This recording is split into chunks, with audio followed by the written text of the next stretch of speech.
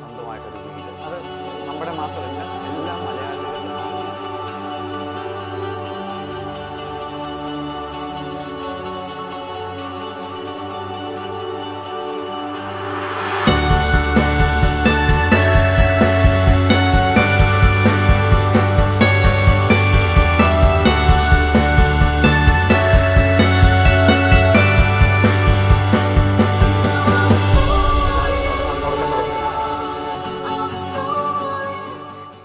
നമസ്കാരം. എല്ലാവർക്കും മറ്റൊരു വീഡിയോയിലേക്ക് സ്വാഗതം. നമ്മുടെ നാട്ടിൽ നിന്ന് വരുന്നവർ അല്ലെങ്കിൽ ഇവിടെ തന്നെയുള്ള ആൾക്കാർക്ക് നമ്മുടെ ഏറ്റവും വലിയൊരു ആഗ്രഹമാണ് സ്വന്തമായിട്ടൊരു വീടെന്നുള്ളത്.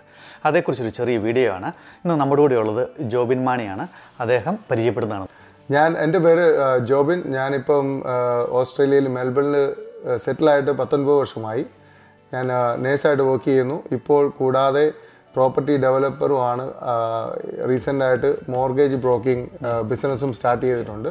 അപ്പോൾ ഈ പ്രോപ്പർട്ടി ഏരിയയിൽ ഒരു ഒരു ഇൻട്രസ്റ്റ് കുറച്ച് നാളായിട്ടുള്ളത് കൊണ്ടും അതുമായിട്ട് കൂടുതൽ അടുത്ത് വർക്ക് ചെയ്യുന്നത് കൊണ്ടുമാണ് ഈ മോർഗേജ് ബ്രോക്കിംഗ് സൈഡിലേക്കൂടെ ശ്രദ്ധ തിരിക്കാനും അത് പഠിക്കുവാനുമായിട്ട് സാധിച്ചത്.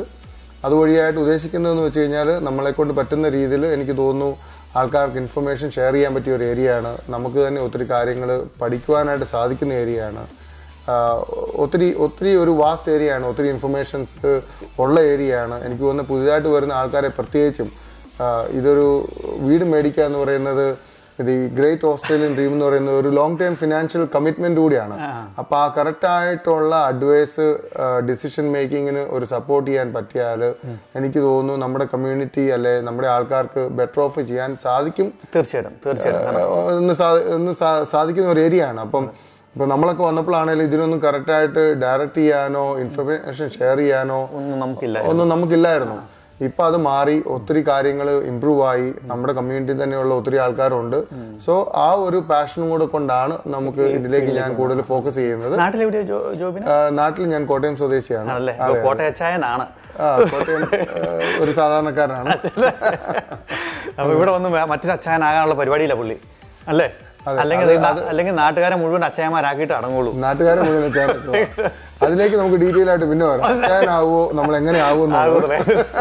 എന്നാലും എല്ലാവർക്കും ഒരു വീട് മേടിക്കാനായിട്ട് ഹെൽപ്പ് ചെയ്യാനായിട്ട് നമ്മളെ കൊണ്ട് പറ്റുന്നത് നമ്മൾ ചെയ്യും. തീർച്ചയായിട്ടും. നമുക്ക് ഓസ്ട്രേലിയയിൽ മാത്രമല്ല എനിക്ക് തോന്നുന്നത് മലയാളി അല്ലെങ്കിൽ മൈഗ്രന്റിന്റെ ഒരു സ്വപ്നമാണ് സ്വന്തമായിട്ടുള്ള ഒരു വീട്. എനിക്ക് തോന്നുന്നു നമ്മൾ വന്ന ഈ രാജ്യത്ത് ഇവിടെ ഉള്ളവരുടെയും ഒരു സ്വപ്നമാണ് ഈ സ്വന്തമായിട്ടൊരു വീട് എന്ന് പറയുന്നത് ഇപ്പൊ ആ ഒരു കൺസെപ്റ്റ് മാറി വരുന്നുണ്ട്. പുതിയ ജനറേഷൻ വന്നു കഴിഞ്ഞപ്പോഴത്തേക്ക് ആ ബാക്ക് യാർഡ് കൺസെപ്റ്റ് ഒക്കെ മാറിയിട്ട് കൂടുതലും അപ്പാർട്ട്മെന്റുകളിലേക്കൊക്കെ മാറുന്നുണ്ട്. എന്നാലും നമുക്ക് എല്ലാവർക്കും ഒരു സ്വന്തമായിട്ട് ഒരു ഇൻഡിപെൻഡന്റ് ആയിട്ടുള്ള ഒരു വീട് വേണം.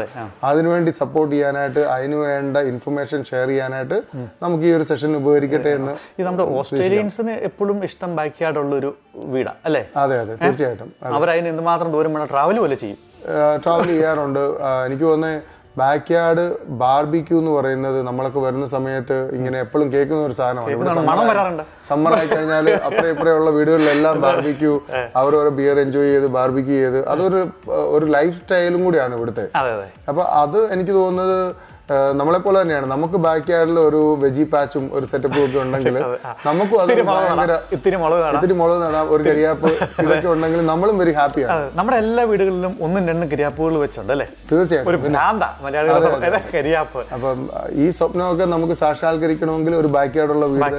നമുക്ക് ഒരു ഇൻഡിപെൻഡന്റ് ആയിട്ടുള്ള ഒരു വീടുണ്ടെങ്കിലാണ് അതെ. അത് സാധ്യമാകുന്നത്. അതിലേക്ക് എത്താനായിട്ടുള്ള സ്റ്റെപ്പുകളുണ്ട് കഴിഞ്ഞ ഒരു ഏഴ് വർഷമായിട്ട് ഓസ്ട്രേലിയയിൽ റിയൽ എസ്റ്റേറ്റിൽ കൂടുതൽ ഇൻവെസ്റ്റ് ചെയ്യുകയും ഇവിടുത്തെ കാര്യങ്ങൾ കൂടുതൽ പഠിക്കുകയും മനസ്സിലാക്കുകയും ചെയ്തു. ആ, ഒരു പ്രോസസ്സിനോടൊപ്പം തന്നെ ഇവിടുത്തെ മോർഗേജ് ഇൻഡസ്ട്രി എങ്ങനെ വർക്ക് ചെയ്യുന്നു കൂടാതെ പ്രോപ്പർട്ടി മാർക്കറ്റ് എങ്ങനെ വർക്ക് ചെയ്യുന്നു എന്നുള്ള ഒരു നോളജ് അക്വയർ ചെയ്യാൻ സാധിച്ചു. അതുകൊണ്ട് തന്നെ ഞാൻ വീണ്ടും ആ ഒരു ഏരിയയിൽ സ്പെഷ്യലൈസ് ചെയ്യാനായിട്ട് ഞാൻ മോർഗേജ് ബ്രോക്കറേജിനുള്ള കോഴ്സ് പാസ്സായി. ഇപ്പോൾ കുറച്ച് നാളുകളായിട്ട് ഞാൻ മോർഗേജ് ബ്രോക്കറായിട്ട് വർക്ക് ചെയ്യുന്നുണ്ട് നേഴ്സിങ്ങിനോടൊപ്പം തന്നെ. ഓക്കെ ഇപ്പോൾ നമ്മളിവിടെ നാട്ടിൽ നിന്ന് വരുന്ന ആൾക്കാർക്ക് അല്ലെങ്കിൽ ഇവിടെയുള്ള ആൾക്കാർക്ക് ഉള്ളൊരു വലിയ സംശയമാണ് നമ്മൾ ഇവിടെ മോർഗേജ് എങ്ങനെയാണ് ആ ഫസ്റ്റ് സ്റ്റെപ്പ് തുടങ്ങേണ്ടത്?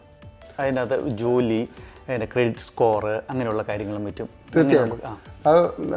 സി നമ്മളിപ്പോൾ ഇവിടെ ഡിസ്കസ് ചെയ്യുന്ന കാര്യങ്ങൾ ഒരു ഫിനാൻഷ്യൽ അഡ്വൈസ് അല്ല. ഇതൊരു ജനറൽ നോളജ് ഡിസ്കഷനാണ് ഇൻഡിവിജ്വൽ സിനാരിയോസ് നിങ്ങൾ നിങ്ങളുടെ പ്രൊഫഷണൽ അഡ്വൈസ് നേടിയിട്ട് നിങ്ങളുടെ സാഹചര്യം അനുസരിച്ച് തീരുമാനങ്ങൾ എടുക്കണം. അപ്പോൾ ഇപ്പോൾ ഈ ജിൽസ് ചോദിച്ചതിനനുസരിച്ച് നമുക്കിവിടെ ഈ ഇപ്പോൾ ഓസ്ട്രേലിയയെ കുറിച്ച് പറയുവാണെങ്കിൽ തന്നെ നമ്മുടെ പ്രോപ്പർട്ടി മാർക്കറ്റ് അറിയപ്പെടുന്നത് തന്നെ ദ ഗ്രേറ്റ് ഓസ്ട്രേലിയൻ ഡ്രീം എന്നാണ് ഓസ്ട്രേലിയയിലെ നമ്മുടെ പ്രോപ്പർട്ടി മാർക്കറ്റ് അറിയപ്പെടുന്നത്. അതായത് ഇവിടെയുള്ള ഒരു സാധാരണക്കാർ തൊട്ട് എല്ലാവരുടെയും ഒരു ആഗ്രഹമാണ് ബാക്ക് യാർഡുള്ള ക്രിക്കറ്റ് കളിക്കാൻ പറ്റുന്ന ബാക്കിയാർഡുള്ള ബാർബിക്യൂ ചെയ്യാൻ പറ്റുന്ന ഒരു വീട് സ്വന്തമായിട്ട് നേടുക എന്നുള്ളതാണ് എല്ലാവരുടെയും ഒരു വളരെ വലിയൊരു ആഗ്രഹമാണ്. ആ ആഗ്രഹം എനിക്ക് തോന്നുന്നത് വേറെ പല രാജ്യങ്ങളുമായിട്ട് ഞാനിപ്പോൾ ഡേറ്റ കമ്പയർ ചെയ്യുമ്പോൾ ഓസ്ട്രേലിയയിൽ ഒന്നുകൂടെ കൂടുതലാണ്. അതുകൊണ്ട് തന്നെ Australian real real estate industry ആണ് ഏറ്റവും വലിയ വെൽത്ത് അക്കുമുലേറ്റ് ചെയ്തേക്കുന്ന ഒരു ഏരിയയും. സോ ഇപ്പം ക്വസ്റ്റ്യനിലേക്ക് വരുവാണെങ്കിൽ ആസ് എ ന്യൂ മൈഗ്രന്റ് നമ്മളെപ്പോലുള്ളവരൊക്കെ ഇപ്പം എനിക്കറിയാം ജിൽസ് നമ്മളൊന്നും വലിയ വ്യത്യാസമില്ലാതെ വന്ന ആൾക്കാരാണ്.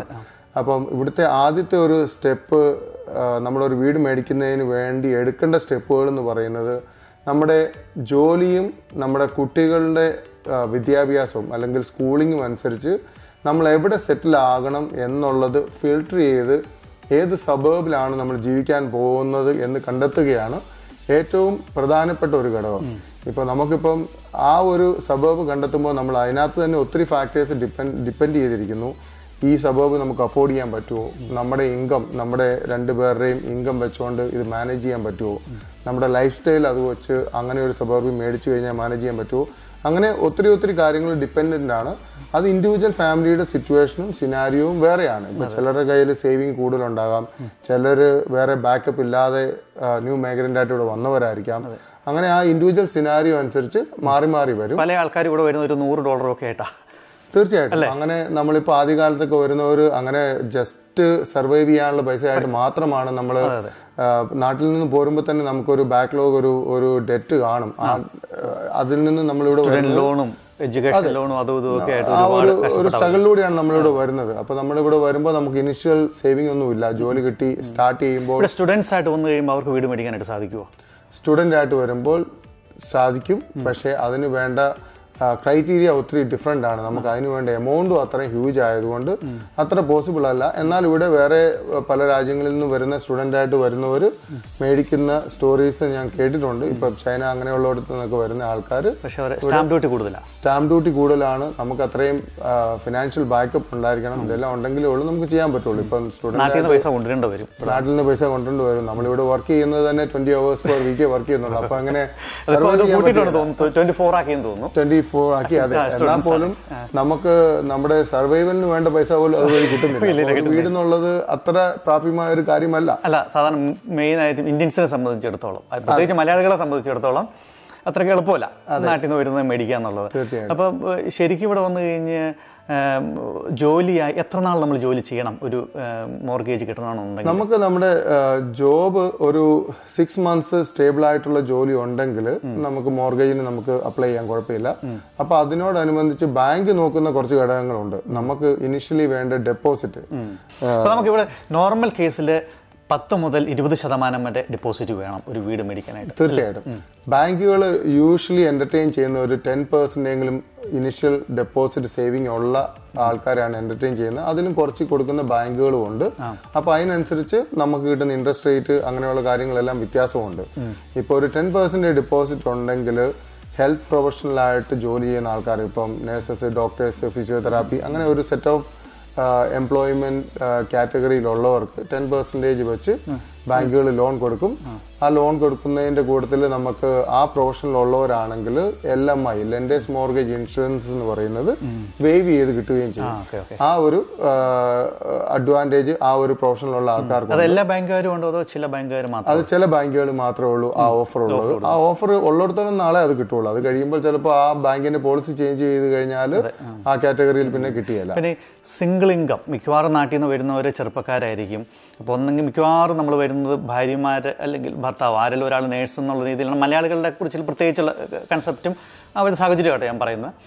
അപ്പോൾ അവർക്ക് സിംഗിൾ ഏണറിന് വീട് മേടിക്കാനായിട്ട് സാധിക്കുമോ അത് അല്ലെങ്കിൽ അതിന് ഡിപ്പെൻഡന്റ് ഇപ്പോൾ രണ്ട് പിള്ളേരുമുണ്ട് ഹസ്ബൻഡിന് വലിയ പണിയല്ല അല്ലെങ്കിൽ വൈഫിനൊരു നല്ല ജോലിയല്ല കാഷ്വൽ വർക്കാണ് ചെയ്യുന്നതുണ്ടെങ്കിൽ അവർക്കത് എങ്ങനെ ഫീസിബിളായിട്ട് മേടിക്കാൻ പറ്റും? ബുദ്ധിമുട്ടാണോ? അങ്ങനെയുള്ള ആൾക്കാർക്കും വീട് മേടിക്കാനായിട്ട് സാധിക്കും. സാധിക്കും എന്ന് പറഞ്ഞു കഴിഞ്ഞാൽ ഏത് ടൈപ്പിലുള്ള വീട് എന്നുള്ളതാണ് അതിനകത്ത് ബഡ്ജറ്റ് ബഡ്ജറ്റാണ് നമ്മൾ ഏറ്റവും പ്രധാനമായിട്ട് നമ്മൾ കണക്കാക്കേണ്ടത്. നമ്മുടെ ഫാമിലിക്ക് എന്ത് അഫോർഡ് ചെയ്യാൻ പറ്റും എന്നുള്ളത് ആസ് എ ഫാമിലി നമ്മൾ ഡിസ്കസ് ചെയ്ത് ആദ്യം അത് ഫൈനലൈസ് ചെയ്യാന്നുള്ളതാണ് ഏറ്റവും. ഇപ്പൊ ഇതിനകത്ത് ഇപ്പം ഇരുപത് വർഷം മുമ്പ് വന്ന ജിൽസോ അല്ലെങ്കിൽ ഇപ്പോൾ വന്ന് രണ്ടു വർഷം കഴിഞ്ഞു വരുന്ന ഒരു ഫാമിലിയോ നമ്മൾ ഇപ്പം കാണുന്ന ഒരു സിറ്റുവേഷനെ വെച്ച് കമ്പയർ ചെയ്തിട്ട് അതുപോലത്തെ ഒരു വീട് നോക്കി കഴിഞ്ഞു കഴിഞ്ഞാൽ നമുക്ക് ഒരിക്കലും അതിലേക്ക് എത്താൻ പറ്റില്ല. അപ്പൊ ഞാൻ സാധാരണഗതിയിൽ നമുക്ക് അറിയാവുന്നവരോട് പറഞ്ഞു കൊടുക്കുന്നതെന്ന് വെച്ച് കഴിഞ്ഞാൽ എത്രയും വേഗം എൻട്രി ചെയ്യാൻ പറ്റുന്ന ഇനിഷ്യൽ എൻട്രിക്ക് പറ്റിയ രീതിയിലുള്ള ശകലം സൈസ് കുറഞ്ഞ വീടായിരിക്കാം. നമ്മൾ ഉദ്ദേശിക്കുന്ന അത്രയും ഡ്രീം സാധിക്കുന്ന വീടായിരിക്കില്ല പക്ഷെ എന്നാലും ഇനിഷ്യൽ ആ മാർക്കറ്റിലോട്ട് നമുക്ക് ടാപ്പ് ചെയ്യാൻ പറ്റിയാൽ എൻട്രി ചെയ്യാൻ പറ്റിയാൽ അതൊരു സ്റ്റെപ്പിംഗ് സ്റ്റോൺ ആയിട്ട് വെച്ചുകൊണ്ട് നമുക്ക് സാധിക്കും.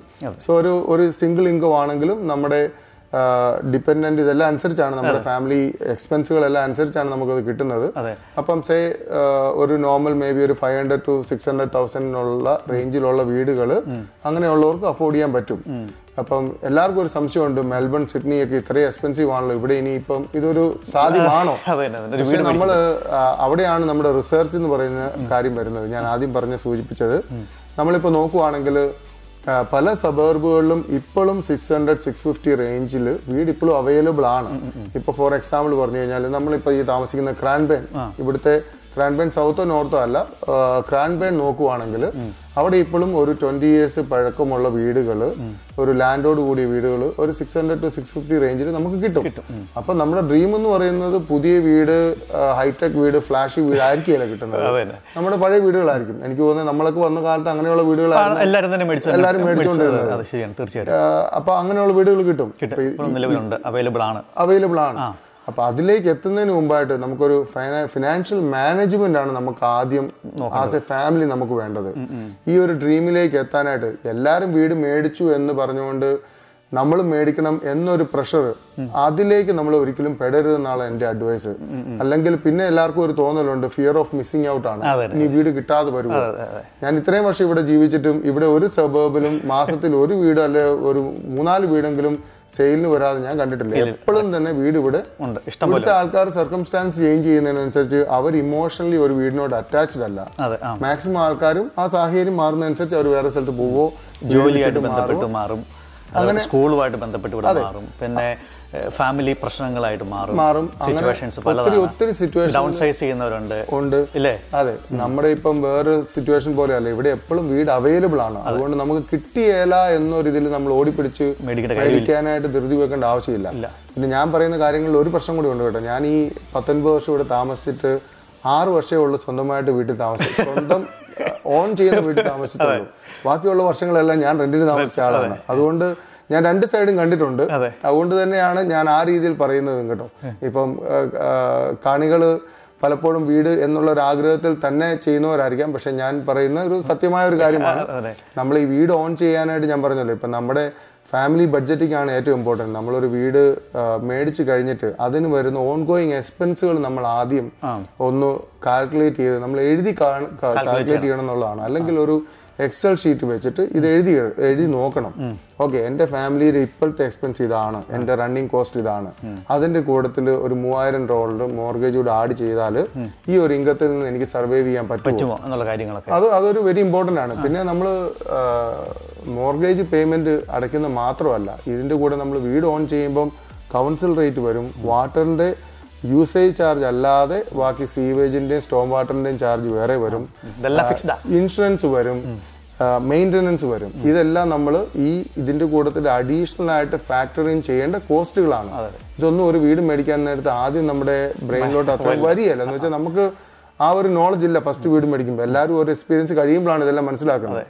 അതേസമയം റെന്റിന് താമസിക്കുമ്പോൾ അഡ്വാന്റേജ് എന്ന് വെച്ച് കഴിഞ്ഞാൽ നമ്മൾ ഇതൊന്നും അറിയണ്ട ലാൻഡ് ലോഡാണ് ഈ ഫീസ് എല്ലാം കൊടുക്കുന്നത്. നമ്മൾ ആ കറക്റ്റ് ടൂ തൗസൻഡ് റെന്റ് ആണെങ്കിൽ ടൂ തൗസൻഡ് റെന്റ് കൊടുത്തു തീർന്നു. തീർന്നു പിന്നെ വീട് എന്ന് പറയുന്ന ഒരു ഇമോഷണൽ ഒരു അറ്റാച്ച്മെന്റ് ഉള്ള നമ്മുടെ കുടുംബത്തെ ഒന്നിപ്പിച്ച് നിർത്തുന്ന നമ്മുടെ ഒരു ഘടകമായതുകൊണ്ട് നമുക്ക് എല്ലാവർക്കും ഒരു വീട് വേണം. അപ്പൊ ആ വീട്ടിലേക്ക് എത്തുക എന്നുള്ളത് എല്ലാവരുടെയും ഡ്രീം ആയതുകൊണ്ട് നമ്മൾ അതിനുവേണ്ടിയാണ് വർക്ക് ചെയ്യുന്നത് കൂടുതൽ. പിന്നെ ഒരു സ്റ്റെബിലിറ്റിയാണ് നമുക്ക് സ്വന്തമായിട്ടുള്ള ഒരു വീട് ഓഫർ ചെയ്യുന്നത്. ഇപ്പൊ ആസ് എ ഫാമിലി ഇപ്പം ഹസ്ബൻഡ് ആൻഡ് വൈഫിന് ആ ഒരു വീടുണ്ടെങ്കിൽ നമുക്ക് അതൊരു കൂടുതൽ ഒരു സെക്യൂർ ആൻഡ് സ്റ്റെബിലിറ്റി അതെ നമ്മളോട് പെട്ടെന്ന് ഒരു ദിവസം ഒരു ദിവസം വാടക അടച്ചില്ലെങ്കിൽ ഇറങ്ങി പോകാൻ പറയുമോ അല്ലെങ്കിൽ ഞാൻ വീട് വിറ്റു അതുകൊണ്ട് നിങ്ങൾ ഇറങ്ങി തരണം എന്ന് പറയും. അങ്ങനത്തെ സാഹചര്യങ്ങളൊന്നും നമ്മൾ സ്വന്തം വീടാൻ പോയില്ല ഒരു കാര്യം എന്ന് വെച്ചാൽ നമ്മൾ മോർഗേജ് കറക്റ്റ് ആയിട്ട് അടച്ചിരിക്കണം. അല്ലെങ്കിൽ ഭയങ്കര പറയും മോനെ നിന്റെ പരിപാടി നിർത്തിക്കോ. ഇത് നിനക്ക് പറ്റിയ പരിപാടിയല്ല. ഈ വീട് മേടിക്കുന്നത് ഒരു മാരേജ് കമ്മിറ്റ്മെന്റ് പോലെ തന്നെയാണ്. ഒരു മുപ്പത് വർഷം എന്ന് പറയുന്നത് നമ്മുടെ ജീവിതത്തിന്റെ ഒരു നല്ല ഒരു ഭാഗം നമ്മൾ ഇതിനു വേണ്ടി ഏറ്റവും ഹെൽത്തി ആയിട്ടുള്ള ഭാഗമാണ് അല്ലേ? അതെ. അല്ലാതെ നമ്മൾ റിട്ടയർ ചെയ്യുന്ന ഒരു സമയത്തല്ല. ഹെൽത്തി ആയിട്ടുള്ള സമയത്ത് തന്നെ നമ്മുടെ ജീവിതത്തിന്റെ ഭാഗം നമ്മൾ ഇതിനു വേണ്ടി ഡെഡിക്കേറ്റ് ചെയ്യണം. പൂർണമായിട്ട് ഡെഡിക്കേറ്റ് ചെയ്യണം. ആ ഡെഡിക്കേഷൻ നമ്മൾ പൂർണമായിട്ടും ഡെഡിക്കേറ്റ് ചെയ്ത് തന്നെ മുന്നോട്ട് പോകണം. അതിനകത്ത് ഒരു വിട്ടുവീഴ്ചയും ബാങ്കിൽ സമ്മതിക്കാലും നമ്മൾ സമ്മതിക്കാൻ പാടില്ല. അപ്പൊ അവക്കാടോ വെച്ചുള്ള ടോസ്റ്റ് കഴിക്കാൻ പറ്റില്ല. ഒരു avocado toast no avocado toast അങ്ങനെ ഇപ്പോൾ ഇപ്പൊ ജിൽസ് പറഞ്ഞത് ഇപ്പോഴത്തെ ഒരു ഫൈനാൻഷ്യൽ സിറ്റുവേഷനിൽ എക്കണോമിക് സിറ്റുവേഷനിൽ ഒത്തിരി പേര് ഇപ്പൊ കഴിഞ്ഞ ദിവസം ന്യൂസിലുണ്ടായിരുന്നു മില്ലേനിയൽസ് അവരുടെ ടോസ്റ്റിനകത്തുള്ള അവക്കാട് കട്ട് ചെയ്യുമെന്നാണ്. അതായത് ലിവിങ് കോസ്റ്റിന്റെ പ്രഷർ കാരണം അവർ കോസ്റ്റ് കട്ടിങ്ങിന് വേണ്ടിയിട്ട് ഇങ്ങനെയുള്ള കാര്യങ്ങൾ ചെയ്യുന്നു എന്നുള്ളത്. അവിടെയാണ് ഞാൻ ഈ പറഞ്ഞ ഒരു പോയിന്റ് വരുന്നത്. എന്താണ് നമുക്ക് അഫോർഡ് ചെയ്യാൻ പറ്റുന്നെന്നുള്ളത് നമ്മൾ ഐഡന്റിഫൈ ചെയ്യണം. അത് ഈ കറണ്ട് സിറ്റുവേഷനിൽ മാത്രം നമ്മൾ നോക്കിയാൽ പോരാ. അടുത്ത ഒരു അഞ്ച് വർഷത്തേക്ക് നമ്മൾ ഇത് ചെയ്തു കഴിഞ്ഞാൽ എങ്ങനെ ഇപ്പം ഫ്യൂച്ചർ ഫാമിലി പ്ലാനിങ് ഉള്ളവർ കാണും. അടുത്തൊരു കൊച്ചിന് വേണ്ടി നോക്കുന്നവർ കാണും. ഇതെല്ലാം നമ്മുടെ ലൈഫിലുള്ള ആഡ് ഓൺ എക്സ്പെൻസുകളാണ് അതെ നമ്മൾ ഞാൻ കഴിഞ്ഞ ദിവസം വേറൊരു ഒരു വീഡിയോ കണ്ടതാണ്. അപ്പോൾ അതിന്റെ അകത്ത് പറയുന്നത് സിംഗിൾ ഫാമിലി ഹോമിനേക്കാളും കൂടുതൽ ഇപ്പോൾ നോക്കേണ്ടത് മൾട്ടിപ്പിൾ ഫാമിലി ഹോമാണ് പറയുന്നത്. അപ്പോൾ അതിന്റെ അകത്ത് അവർ പറയാൻ കാരണം വെച്ചാൽ റെന്റ് ഭയങ്കരമായിട്ട് കൂടി. ഇപ്പോൾ സ്വന്തം മക്കൾ ഏഹ്, പുറത്തോട്ട് പോയി അവർക്ക് റെന്റിന് താമസിക്കുന്നത് അഫോർഡ് ചെയ്യാൻ പറ്റില്ല. അപ്പോൾ അത് വീട്ടിൽ തന്നെ ഒരു ഭാഗം പിള്ളേർക്ക് കൊടുക്കുക. അപ്പോൾ അവരുടെ നിന്ന് റെന്റ് മേടിക്കുക. പേരൻസ് അവർ ഡൗൺ സൈസ് ചെയ്യണമെന്നുണ്ടെങ്കിൽ അവരും ഒന്നെങ്കിൽ വേറെ മേടിക്കണം. അതല്ലെങ്കിൽ അവരും റെന്റിന് പോകണം. അപ്പോൾ അവരെയും സ്വന്തം വീട്ടിലേക്ക് തന്നെ കൊണ്ടുവന്നിട്ട് അവർക്കൊരു ഭാഗം കൊടുക്കുക. അപ്പോൾ അത് മൾട്ടി ഫാമിലി സ്വന്തം വീട്ടിൽ തന്നെ ആകുകയും ചെയ്തു. ഒരു ഇൻകവുമായി അവർക്കും സപ്പോർട്ടാണ് ഇവർക്കും മറ്റവർക്കും സപ്പോർട്ടാണ് ഫാമിലി ഒരുമിച്ച് ജീവിക്കുകയും ചെയ്യും. അതുകൂടാതെ വീട്ടിലെ കാര്യങ്ങൾ ചെയ്യാനായിട്ട് ഒരു ഹെൽപ്പായി ഹെൽപ്പായി അതായത് ഇപ്പൊ ഇവിടുത്തെ യങ്സ്റ്റേഴ്സിന് തന്നെയാണെങ്കിൽ ഇപ്പൊ റെന്റിന് മൂവ് ഔട്ട് ചെയ്ത് കഴിഞ്ഞാൽ യൂഷ്വലി ഒരു ഒരു ട്വന്റി ട്വന്റി വൺ ഒക്കെ ആകുമ്പോൾ ഇവിടുത്തെ നോർമൽ മൂവ് ആൾക്കാർ മൂവ് ചെയ്തുകൊണ്ടിരുന്നതാണ്. ഇപ്പോൾ സാഹചര്യം മാറി. കോസ്റ്റ് ഓഫ് ലിവിംഗ് കാരണം ഇപ്പൊ അത് ചെയ്യാൻ പറ്റുന്നില്ല. പറ്റുന്നില്ല. അപ്പൊ ഒരുപാട് ആൾക്കാർ ഈ പറഞ്ഞതുപോലെ മൂവ് ചെയ്യുന്നത് മുപ്പത് വയസ്സായതിനു ശേഷം മൂവ് ചെയ്യുന്നില്ലെന്നാണ് ഇപ്പോഴത്തെ കണക്കനുസരിച്ച്. ഈ ഒരു സിറ്റുവേഷൻ ഉണ്ടെങ്കിൽ ഒരു ഗുണം അവർക്ക് ഡൗൺ പേയ്മെന്റിനുള്ള ഒരു സേവിങ് അവർക്ക് ഉണ്ടാക്കാനായിട്ട് സാധിക്കും. ഈ ഒരു പീരീഡിൽ പേരൻസിന്റെ കൂടെ സേവ് ചെയ്തുകൊണ്ട്. അതിപ്പോ എല്ലായിടത്തും വർക്ക്ഔട്ട് ആയില്ല വർക്ക്ഔട്ട് ആവുന്നവർ ചെയ്യുക എന്നുള്ളേ ആ ഒരു മ്യൂച്വൽ അണ്ടർസ്റ്റാൻഡിങ് വേണം അങ്ങോട്ടും ഇങ്ങോട്ടുള്ള റെസ്പെക്ട് പിന്നെ ഇവിടെയുള്ള ആൾക്കാർക്ക് ഡൗൺ പേയ്മെന്റ് ആയിട്ട് പേരൻസ് കുറെ ഹെൽപ്പ് ചെയ്യാറുണ്ടല്ലോ. ഡൗൺസ് നമ്മുടെ നാട്ടിൽ നിന്ന് വരുന്നവർക്ക് അങ്ങനത്തെ ഒരു ഘടകമില്ല. അതേക്കുറിച്ച് ആലോചിക്കാനും പറ്റില്ല. നമുക്ക് നാട്ടിൽ നിന്നുള്ള നമ്മുടെ പ്രോപ്പർട്ടീസ് കൊളാട്രൽ ചെയ്ത് ഇവിടെ ലോൺ കിട്ടുമോ അങ്ങനെ എന്തെങ്കിലും ലോൺ കൊളാറ്ററൽ ചെയ്ത് കിട്ടിയാൽ നമ്മൾ ആ നാട്ടിലുള്ളത് ഡിസ്പോസ് ചെയ്ത് നമ്മൾ ആ പൈസ കൊണ്ടുവരണം. അത് അങ്ങനെ കൊണ്ടുവന്നു കഴിഞ്ഞു കഴിഞ്ഞാൽ ഞാൻ എപ്പോഴും ഇതിനകത്ത് ഒരു ഒരു ഒരു ക്യാച്ച് ആയിട്ടുള്ള ഒരു പോയിന്റ് എന്ന് പറയുന്നത് നമ്മളിപ്പോൾ നോക്കുവാണെങ്കിൽ നാട്ടിൽ സേ ഒരു ഒരു ഏക്കർ ലാൻഡ് നമ്മുടെ പേരിലുണ്ട്. നമുക്കതൊരു ഒരു ഒരു കോടി രൂപ അല്ലെ അമ്പത് ലക്ഷം രൂപ വാല്യൂ ഉള്ള ഒരു സാധനമാണ് ഇപ്പൊ ഇപ്പോഴത്തെ ഒരു ലാസ്റ്റ് ടെൻ ഇയേഴ്സ് നോക്കിക്കഴിഞ്ഞാൽ പ്രോപ്പർട്ടി മാർക്കറ്റ് നാട്ടിൽ നോക്കിക്കഴിഞ്ഞാൽ അതൊരു ഡൗൺ ട്രെൻഡിങ് ആണ് അല്ലെങ്കിൽ ഡെഡ് ആണെന്ന് പറയാം. അപ്പൊ ഞാനിപ്പോ പലരോടും സംസാരിക്കുമ്പോൾ ഈ ഈ ഒരു കോടി രൂപയുടെ നാട്ടിലെ പ്രോപ്പർട്ടി അസറ്റ് ഡിസ്പോസ് ചെയ്ത് ഇങ്ങോട്ട് കൊണ്ടുവന്നു കഴിഞ്ഞാൽ രണ്ട് ലക്ഷം ഡോളർ നമുക്ക് ഇവിടെ കിട്ടും കിട്ടും ഈ രണ്ട് ലക്ഷം ഡോളർ നമ്മുടെ ഓൺ ഹൗസിന്റെ മോർഗേജിലോട്ട് ഇട്ട് കഴിഞ്ഞാൽ മാസം നമ്മൾ സേവ് ചെയ്യുന്നത് ആയിരത്തി ഇരുന്നൂറ് ഡോളറാണ് അതായത് ഓൾമോസ്റ്റ് ഇൻട്രസ്റ്റ് മാത്രം. ഇൻട്രസ്റ്റ് മാത്രം നമ്മൾ ഈ രണ്ട് ലക്ഷം ഇട്ട് കഴിഞ്ഞാൽ സേവ് ചെയ്യുന്നത്. ഒരു എഴുപത്തയ്യായിരം അല്ലെങ്കിൽ എഴുപതിനായിരം ഡോളറോളം നമ്മൾ അവിടെ സേവ് ചെയ്യുവാണ് രണ്ടു കൊല്ലം കൊണ്ട്. ഒരു മാസം. ഒരു മാസം. ഒരു മാസം. നമ്മൾ ഈ സെയിം സാധനം നാട്ടിൽ ഇട്ടേക്കുന്നത് നമ്മുടെ അസറ്റാന്ന് പറയുന്നേ ഉള്ളൂ. അത് മേടിക്കാനും ആളില്ല. അല്ലെങ്കിൽ നോ ഇൻകം നോ ഇൻകം അപ്പൊ നമ്മൾ ഇവിടെ കൊണ്ടുവന്നു കഴിഞ്ഞാൽ ഇത്രയും രൂപ ഒരു ഒരു വർഷം വരുമ്പോഴത്തേക്ക് നമ്മൾ നല്ലൊരു എമൗണ്ട് ഇതുവഴിയായിട്ട് നമ്മൾ സേവ് ചെയ്യുന്നു സേവ് ചെയ്യുന്നുണ്ട്. അതായത് നമ്മുടെ ഹാർഡ് ഏൺഡ് മണി ബാങ്കിന് കൊടുക്കുന്നതിന് പകരം നമുക്കുള്ള അസറ്റിന് ഡിസ്പോസ് ചെയ്ത് ഇങ്ങനെ കൊണ്ടുവന്നു കഴിഞ്ഞാൽ നല്ലൊരു സേവിങ് ആയിട്ട് അത് മാറും. പക്ഷെ ഇത് ഇത് ഇതാണ് ഇവിടുത്തെ ഒരു പ്രശ്നം എന്ന് പറയുന്നത് നമുക്ക് എപ്പോഴും ആ ഒരു പ്രോപ്പർട്ടിയോടുള്ള ഇമോഷണൽ അറ്റാച്ച്മെന്റ് അല്ലെങ്കിൽ നാട്ടിൽ ഇത് പേരൻസിന്റെ കിട്ടിയ ലാൻഡ് ആയിരിക്കാം. അപ്പൊ അവർ ഇത് ഡിസ്പോസ് ചെയ്യാനായിട്ട് ചിലപ്പം അവർക്കൊരു ബുദ്ധിമുട്ട്. ഇതൊക്കെ കൊണ്ട് നമ്മളാരും ചെയ്യാറില്ല. ആ ഒരു ഇമോഷണൽ ഫാക്ടേഴ്സ് അതിനകത്തുണ്ട്. പക്ഷെ ചെയ്യാൻ പറ്റുവാണെങ്കിൽ നമ്മളൊന്ന് ആലോചിച്ച് നോക്കിക്കഴിഞ്ഞാൽ നമുക്ക് എത്രയോ സേവിങ് നമുക്കുണ്ടാവും. നമ്മൾ ഈ നമ്മുടെ ഫാമിലിയുടെ കൂടെയുള്ള ടൈം കളഞ്ഞിട്ട് ഈ ഓടി നടന്ന് ഓവർ ടൈമും ഹാർഡ് വർക്കും ചെയ്യുന്നതിന് പകരം ഈ ഒരു ഇത് ചെയ്തു കഴിഞ്ഞാൽ നമുക്ക് അത്രയും സേവിങ് നമ്മുടെ ഫാമിലിക്ക് വേണ്ടി ഉണ്ടാക്കാൻ പറ്റും. അല്ലെങ്കിൽ അതിനെ നമ്മൾ ഒരിക്കലും ആ ഒരു രീതിയിലൂടെ നമ്മൾ ഒരിക്കലും കാണാറില്ല ആ ഒരു ഇഷ്യൂ കൊണ്ടാണ് നമുക്ക് ആർക്കും ചെയ്യാൻ പറ്റാത്ത അല്ലെങ്കിൽ ആരും പറഞ്ഞു കൊടുക്കാറില്ല ഇങ്ങനെ ഒരു കാര്യം ചെയ്താൽ എനിക്ക് തോന്നുന്നു ഇപ്പൊ ഒത്തിരി പേര് ചെയ്യുന്നുണ്ട്. യങ് ഫാമിലീസ് ഒത്തിരി പേര് ഇപ്പം ഫാമിലീസ് ഉണ്ട്. പിന്നെ അതേപോലെ തന്നെ മിക്കവാറും ആൾക്കാർ ചെയ്യുന്നത് പേരൻസ് മരിച്ചു കഴിയുമ്പോൾ അത് ചെയ്യുന്നത് കൂടുതൽ. കാരണം അവിടെ നോക്കി നടത്താൻ ആളില്ല. പിന്നെ പേരൻസ് ഒരിക്കൽ മരിച്ചു കഴിഞ്ഞാൽ പിന്നെ ആൾക്കാർ നാട്ടിലോട്ട് പോക്കും വളരെ കുറവാണ് വളരെ കുറവ്. ഇല്ലേ? അതെ. അത് കഴിഞ്ഞ് കഴിഞ്ഞാൽ പിന്നെയാണ് നോക്കി നടത്താൻ ആളിൽ നിന്ന് വലിയ പ്രശ്നമാണ്. പിന്നെ അതിര് മാന്തൽ നാട്ടിൽ ചെന്ന് മിക്കവാറും പ്രോപ്പർട്ടി കാണില്ല. ഒരേക്കർ ഉണ്ടെങ്കിൽ അര ഏക്കർ ആകും അത് പിന്നെ തീർന്നു പോകും ആ- രീതിയിൽ. അപ്പം അങ്ങനെ വരുന്ന കേസുകൾ തന്നെ ഒരുപാട് ബുദ്ധിമുട്ട് കഴിയുമ്പോൾ ആൾക്കാരത് വിറ്റിട്ട് കൊണ്ടിരുന്നുണ്ട് അപ്പോൾ അതൊരു വലിയ ട്രെൻഡായിട്ട് ഇപ്പോൾ കാണുന്നുണ്ട്. ഒരുപാട് ആൾക്കാർ കൊണ്ട് ഒത്തിരി പേരുണ്ട്. എനിക്ക് തോന്നുന്നു നാട്ടിൽ ഈ ഗ്രോത്ത് ഉണ്ടായിരുന്നപ്പോഴായിരുന്നു നമ്മൾ കൂടുതൽ ഹോൾഡ് ചെയ്യാനായിട്ട് നോക്കിക്കൊണ്ടിരുന്നത്. അപ്പോൾ ആ ഗ്രോത്ത് ഒന്ന് സാച്ചുറേറ്റഡ് ആയപ്പോൾ ഒത്തിരി പേര് അങ്ങനെ ചെയ്യുന്നുണ്ട്. ഞാൻ പറയുന്നത് അത് ചെയ്യണം എന്നാണ് പറയുന്നത്. നമ്മൾ ഇവിടെ ഇത്രയും ഇൻട്രസ്റ്റ് കൊടുത്ത് നമ്മൾ വർക്ക് ചെയ്ത് ഉണ്ടാക്കുന്ന പൈസ ഇടുന്നതിന് പകരം അതെ. സേവ് ചെയ്യാൻ പറ്റും. പിന്നെ ഗ്രോത്തും കൂടുതൽ ഇവിടെ തന്നെ ആയിരിക്കും. ഇനി ഒരു പക്ഷേ നാട്ടിലേക്കാളും കൂടുതൽ. തീർച്ചയായിട്ടും. അല്ല, എനിക്ക് തോന്നുന്നു ഈ അറിയത്തില്ല. അത് ഓരോ സ്റ്റേറ്റ് വൈസ് എന്നാലൊരു വേവ് അനുസരിച്ചാണെങ്കിലും. നാട്ടിലിപ്പം പണ്ട് നമ്മുടെ നാട്ടിൽ കള്ളപ്പണങ്ങളും ഒരുപാട് ഉണ്ടായിരുന്നു. ഇപ്പോൾ അത് കുറവാന്ന് തോന്നുന്നു. ഇപ്പോൾ എല്ലാം തന്നെ നോർമൽ ഡീസന്റ് ആയിട്ടുള്ള ട്രാൻസാക്ഷൻ നടക്കണം. അപ്പം അങ്ങനെ വരുമ്പോൾ ആൾക്കാരിൽ ഡിപ്പോസിറ്റ് ചെയ്യാനുള്ള മണികളൊക്കെ കുറവായിരിക്കും. ഒരു പക്ഷേ ഗ്രോത്ത് ഇച്ചിരി കുറവായിരിക്കും. അതെ പിന്നെ ഈ ഒത്തിരി ലാൻഡ് ഉള്ളതൊന്നും മേടിക്കാനായിട്ടും അത്രയും ആളില്ല. ഈസി അല്ല. പിന്നെ ഇപ്പൊ നാട്ടിൽ റിട്ടേൺ ഇല്ല. അതാണ് ഏറ്റവും വലിയൊരു വിഷയം. ഓരോ പോക്കറ്റുകൾ നോക്കിയാണെങ്കിൽ പുതിയ യങ്സ്റ്റേഴ്സ് അവിടെ നിൽക്കുന്നില്ലാത്തതുകൊണ്ട് ഇനി ഒരു ഫ്യൂച്ചറിലാണെങ്കിലും ഇതിനൊരു ഡിമാൻഡ് ഉണ്ടോ ഇല്ലയോ എന്നുള്ളത് ഒരു ക്വസ്റ്റ്യൻ ആണ്. അതുകൊണ്ടാണ് ആൾക്കാർ ഇപ്പൊ കൂടുതലും ആ ഒരു ഇൻട്രസ്റ്റ് വിൽക്കാനായിട്ട് കാണിക്കുന്നത്. മൈഗ്രേറ്റ് ചെയ്യുന്ന കൂടുതലും യൂറോപ്യൻ കൺട്രികളിലേക്കും ഓസ്ട്രേലിയ ന്യൂസിലൻഡ് അമേരിക്ക അങ്ങനെയുള്ള സ്ഥലങ്ങളിലേക്ക് പോകുന്ന ആൾക്കാർ തിരിച്ചും വരില്ല. അതെ അതുകൊണ്ട് അതുകൊണ്ട് നമുക്ക് ഒരു കാരണവശാലും നാട്ടിലൊരു വീടിന്റെ ആവശ്യം വരുന്നില്ല. തീർച്ചയായിട്ടും അതെ.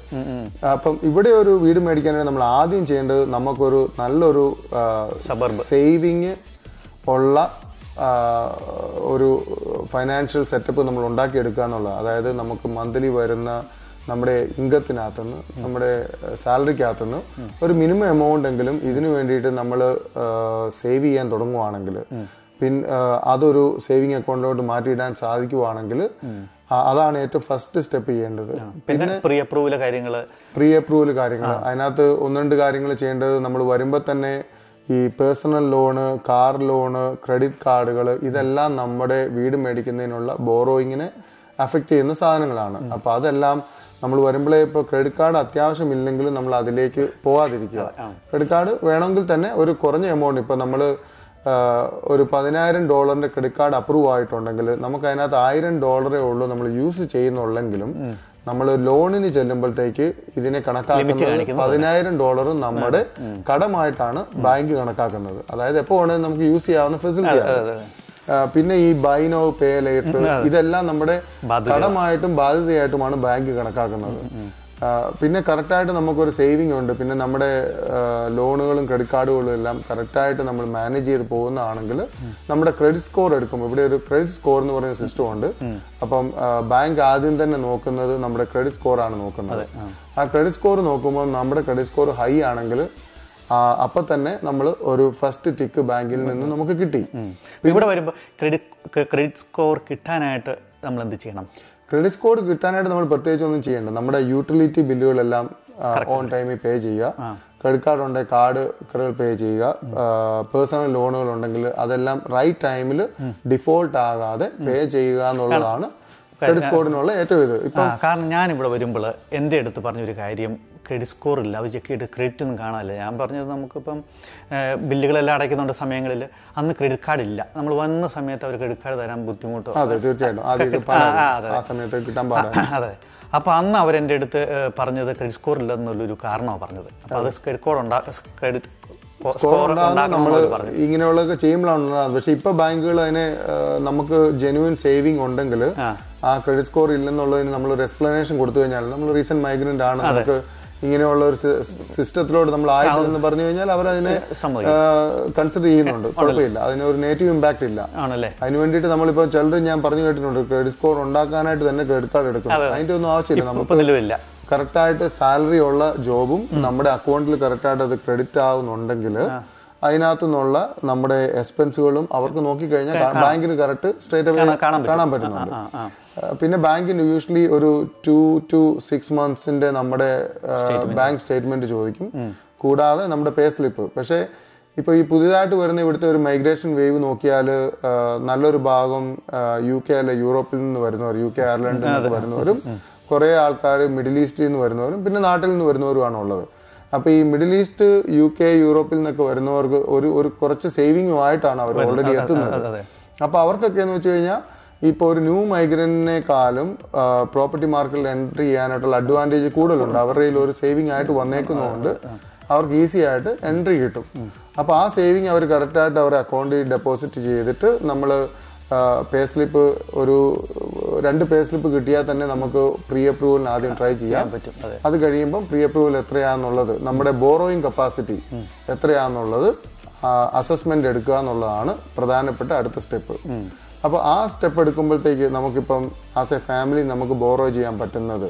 അത് ഒത്തിരി കാര്യങ്ങളെ ഡിപ്പെൻഡ് ചെയ്താണ്. നമ്മുടെ ഡിപ്പെൻഡന്റ് എത്ര ചിൽഡ്രൻ ഉണ്ട്. നമ്മുടെ ബാക്കി എക്സ്പെൻസ് എല്ലാം നോക്കിയിട്ടാണ് ബാങ്ക് ഇത് തരുന്നത്. അപ്പൊ ഫൈവ് ഹൺഡ്രഡ് തൗസൻഡ് ആണ് നമ്മുടെ ബോറോയിങ് എങ്കിൽ നമ്മൾ ആദ്യം ഫിൽട്ടർ ചെയ്ത് കണ്ടുപിടിച്ച നമ്മുടെ സബേബ് നമുക്ക് ഡിസയർ ആയിട്ട് സെറ്റിൽ ആകാൻ പറ്റിയ സബേബ് ആ സബേബിൽ ഈ എമൗണ്ടിനുള്ള വീട് അവൈലബിൾ ആണോ എന്നുള്ളത് നമ്മൾ ചെക്ക് ചെയ്യണം. ആ. ചെക്ക് ചെയ്യുമ്പോൾ പ്രീവിയസ് സെയിൽ ഹിസ്റ്ററി എടുത്ത് നോക്കുക. അല്ലെങ്കിൽ ഇപ്പൊ മാർക്കറ്റിലുള്ള പ്രോപ്പർട്ടികൾ എടുത്ത് നോക്കുമ്പോൾ നമുക്ക് ഈ ഡേറ്റ കിട്ടും.